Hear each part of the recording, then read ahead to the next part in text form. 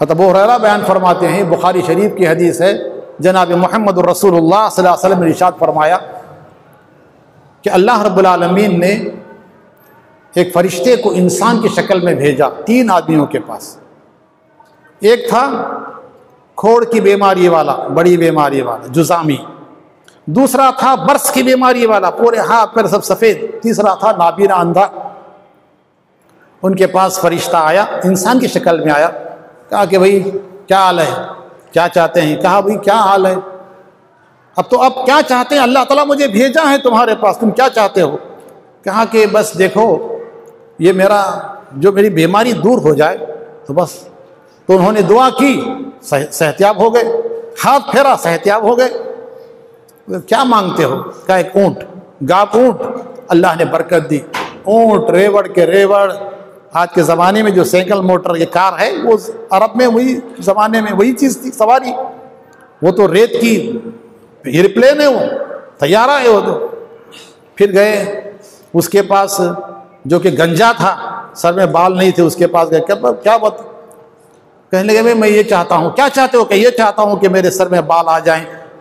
कोई रिश्ता नहीं मिल रहा है, कोई लड़की शादी करने को तैयार नहीं है और हालत ये है कि कोई मुझसे करीब नहीं आता है, बालों में बीमारी भी है, सर में बीमारी भी है।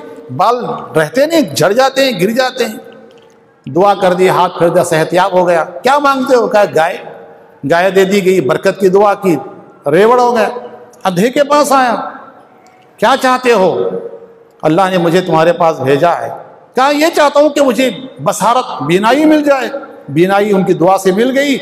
का क्या चाहते हो? कहा, बकरी, बरकत की दुआ दो। और रेवड़, ये रेवड़।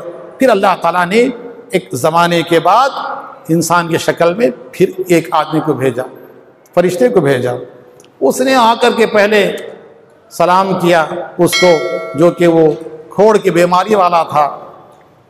मैं पहचान रहा हूँ, आप वो तो नहीं, किसी ज़माने में आप बीमार थे फ़कीर कंगाल थे, कोई आपसे करीब नहीं आता था, इतना सारा माल आपको कैसे मिल गया? भाई मैं बहुत परेशान आदमी हूँ, मुसाफिर हूँ, कुछ दे दीजिए, ताकि मैं घर पहुँच जाऊँ। कहा, अकल दिमाग ठिकाने पे है कि नहीं है? मैं तो ख़ानदानी मालदार हूँ, मैं हमेशा सेहतियाब था।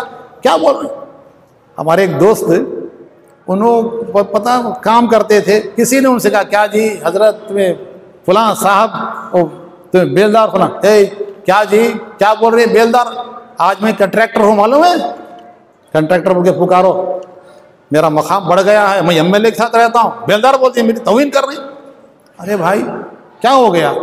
क्या मैं तो वो आदमी हूँ जो किसी ज़माने में मैं माशा मैं हमेशा बालदार रहा हूँ, बाप दादा से आस्ती मिली है। उसने कहा, हमारे पास कुछ नहीं, जाओ।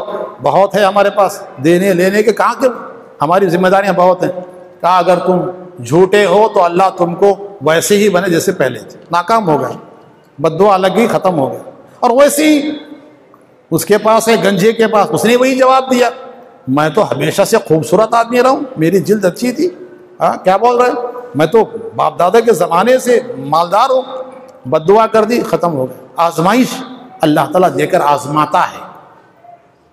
देकर अल्लाह फरमाते हसिन कमा हसन अल्लाह रबालमीन जैसे तुम पर एहसान करता है तुमको चाहिए, तुम वैसे ही लोगों के साथ एहसान करो।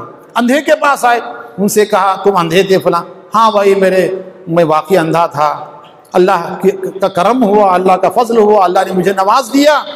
तुम मुसाफिर हो, परेशान हो, जाओ। जो चाहते लेके जाओ। उसने दुआ दी, बरकत की तो उसकी जायदाद महफूज रही। मेरे भाइयों, बताने का मकसद ये जुमा का वक्त बहुत कम होता है। बताने का मकसद ये है कि अल्लाह ताला फरमाते हैं अल्लाह के जानब से तुम्हारे रब की तरफ़ से इस बात का हुक्म दिया गया है, हुक्म हुआ है कि अगर तुम शुक्रगुजारी की ज़िंदगी गुजारोगे, अल्लाह ताला उसमें ज़्यादती फरमाएगा, तरक्की देगा, बरकत देगा। और अगर तुमने नाशुक्री की तो फिर अल्लाह रबालमीन का अजाब बहुत सख्त है। जैसे कि मैंने आपके सामने बुखारी की रिवायत पेश की। अल्लाह रबालमीन से दुआ है कि अल्लाह ताला हमें शुक्र करने वाला, शुक्र करने वाला दिल और उसका ज़िक्र करने वाली ज़बान अता फरमाए। अल्लाह ताला हमें नाफरमानी से बचाए, अल्लाह ताला हमें कुफरान नेमत से बचाए और अल्लाह रबालमीन हमें जब तक दुनिया में रखे, उसका इबादत गुजार बंदा बना कर रखे। वाखिर दावान अलहमदिल्ला रबालमीन